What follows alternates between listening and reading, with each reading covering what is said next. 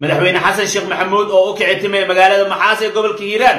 Isagoo halkaasi ka abaabuli doono ciidamada macawisleyda gobolka hiiraan ee beesha xawaadle si ay u hantaan ama amniga magaalada wabxo ilaa iyo dac si isugu furanto jidka magaalada ceelbuur oo hadda kooxda khawaarijta la soo warinayo inay go'doomiyeen. Madaxweynuha wuxuu aad uga xanaaqay sokortu ugu kacday waxa aad uga carooday isbeddel jireed laga dareemayo kuwa furfurayo maxamed cabdulaahi farmaajo oo isagana furfurayo kala furfurayo ciidamadii qaranka soomaaliya isagii fahad yaasiin waxay doonayaan ciidamada inay kala jebiyaan xogihii ugu dambeeyey iyadana waxbaan ka dul istaagi doonaa. Aynu ku bilownay horjoogihii kooxda khawaarijta al-shabaab nuurdeeq cabdulaahi maalin guur oo ahaa ku eedaysan dilka. Dad badan uu ka mid yahay sheekh cabdiweli sheekh cali cilmiyare. Nuurdeeq waxa uu ka mid yahay ama ku eedaysan yahay raggii lahaa abaabulka dilka ama shirqoolkii lagu dilay oo lagu weeraray sheekh cabdiweli sheekh cali cilmiyare oo ka mid ahaa culimmada gobolka mudug nin wadaadahoo xer haysto oo meel bannaana joogo oo ay dad ka been abuurteen ahaa qaab gaalnimana lagu shaabadiyey. Sheekh cabdiweli waxaa dilay ama abaabulay dilkiisa hormuud u ahaa nuurdeeq cabdilaahi maalinguur oo ay qaraabo hoose yihiin. Nuurdeeq shalay wuxuu fahmay xaqa. Horay buu u doonayay inuu soo dhiibo. Rag badan baa waddada ku soo jiro. Horjooge habargidira kuma sii hari doono oo mudug joogo. Khawaarij kuma sii hari doono wuu soo bixi doonaa uun. Ninkan wuxuu la soo xiriiray axmed macalin fiqi.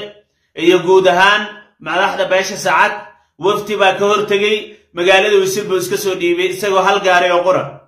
Ninkan wuxuu ahaa horjoogaha gobolka mudug oo dhan wuxuu maamulayay ciidamo gaarayo ilaa iyo saddex boqol ilaa iyo afar boqol oo gaadiid iyo qalabaysan laakiin wuxuu la soo shir tegey ama la yimid hal gaari oo leyl calaawi ah ee qori aakaah isagu wati gablan tala adduunyooy maxaad gala bacayn joogta gablan tala adduunyooy maxaad gala bacayn joogta ninkii nuurdeeq ahaa oo dilaaga ahaa ee argagixisaha ahaa ee naxariislaawaha ahaa ee bulshadii gobolka mudug xasuuqay beeshiisa wuu isi soo dhiibay wuxuu yidhi waa ka toobad keenay.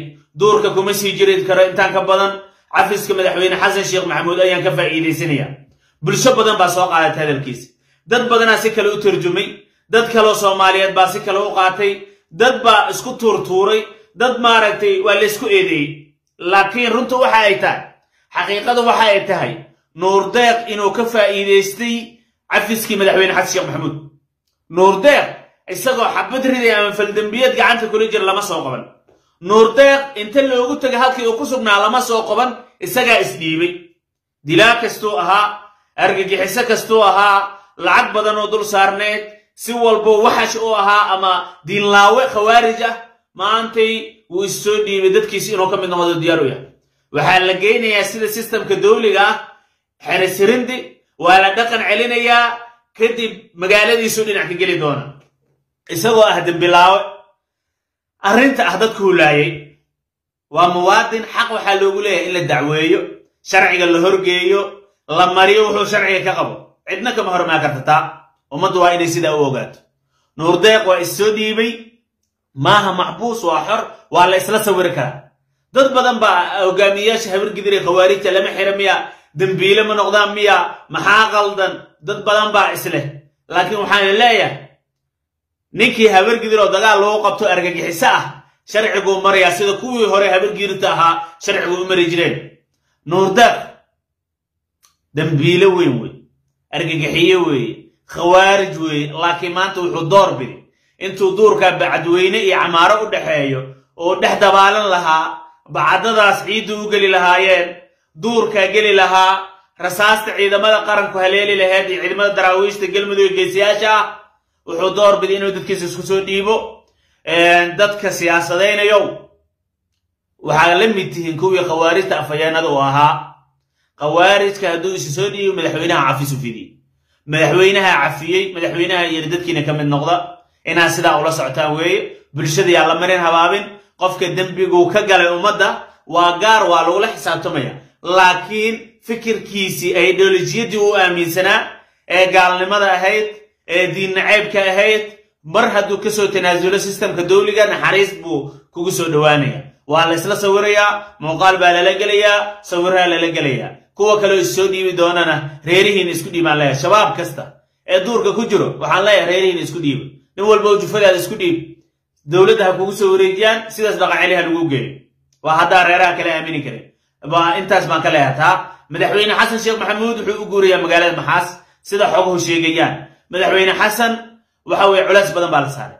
Bareeshar badan baa ku kacay dhiikar baa ku kacay madaxweynaha sokorti baa ku kacday wuu aad buu uga xumaaday wuu ka argagaxay waxa ku dhacay argagixisadu waxa ay u geysteen dhibaatooyinkii jariimooyinka ee maaragtay dadkiisu ka daba maleegayaan xarigguu xiro la furfurayo dowladdii loo soo dhex mariyo ciidamadii la kala jebinayo aad buu uga carooday runtii. Hadda maxaas buu u gurma aaday gurmad buu halkaasi ka doontay si ciidamada hal mar la isku daba dhigo khawaarijtana looga xoray magaalooyinka wabxo iyo dac si la isugu furo jidka ceelbuur oo ay goodoomiyeen kooxda khawaarijta argagixisada naxariis laawayaasha al-shabaab. Madaxweynaha saacadaha soo socda ayaa la rajaynayaa inuu u guuro maxaas xogihii ugu dambeeyey intaa bay sheegaysaa. Maxaas ciidamada macawiisle iyo cali jeyto hogaaminayo ayaa halkaasi ka gelbin doono iyagoo ku wajahan ama xoogga saari doono qabashada jidka dheer. ee maxaas iyo ceelbuur xiriiriyo khawaarijta yare halkaas ku dhumaalaysanaysa haraadiga ah sidii looga sifayn lahaa. Wararkii ugu dambeeyey taabay sheegayaan deegaanadii laga soo baxay ciidamadu dib bay ugu laaban doonaan saacadaha soo socdo. Waxa weeye waa la sii socdaa waa la socdaa cadowgii waa la jebinayaa. Waxa weeye dowladdii dhan baa israacday. Waxa weeye ra'iisul wasaarihii baa maanta gaaray magaalada aadan yabaal ciidamadii wuxuu ku amray inay laabtaan waa la isku tegey. Hogaanka gaashaandhigga isbedbel waa ku socdo. Ciidamada waxa weeye wax walba u baahan yihiin. Waa laga garab istaagi doonaa waana laga gacan sii rabaa. Khawaarijtana halkaa baa looga soo farxalinaya ilaahay idinkii ummadda soomaaliyeed